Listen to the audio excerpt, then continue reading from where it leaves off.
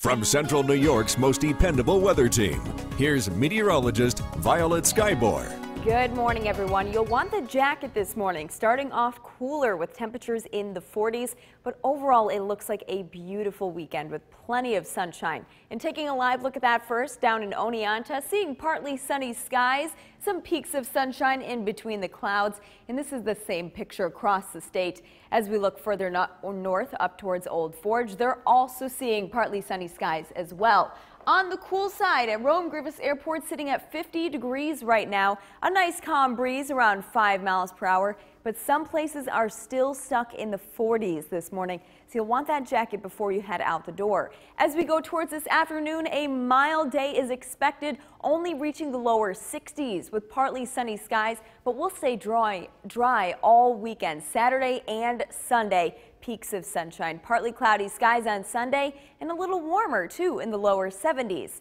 So right now seeing nice dry weather from our Adirondack Bank Storm Tracker 2 radar and satellite. A north wind is what's bringing in this cooler air not only for today but also heading into tonight. And you can see it's being brought all the way from the middle of Canada down into New York State. And this is ahead of a high pressure system that is bringing this north wind but also dry air. And that dry air is going to sit over us for the next five days as this system moves slowly towards us and then exits later in the week. So if you need, did need to mow your lawn this weekend or even to start the week, perfect weather for it. Dry today, dry on Sunday, Monday, and into Tuesday as well. And it doesn't stop there. We really don't look like we get another chance for rain until Friday. If you have allergies, the good news is that we'll have medium levels all weekend and even into Monday. So nice weather for your if you do have allergies. And again, this is for grasses, dock, and plantain.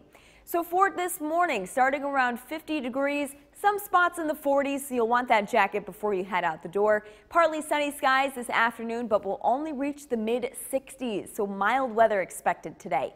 As we head into tonight, decreasing clouds with clear skies and will sink quickly into the lower 40s. Some spots could even hit the 30s as we look up towards the North Country with a chance for a light frost. So just be careful of that. As we go into Sunday, more sunshine and a little warmer too with highs in the lower 70s. So for today, starting in the 50s, partly sunny skies, highs reach the lower 60s. As we head into tonight, decreasing clouds and it gets chilly, dropping into the lower 40s, some spots in the 30s for the North Country. Here's a look at the rest of your forecast.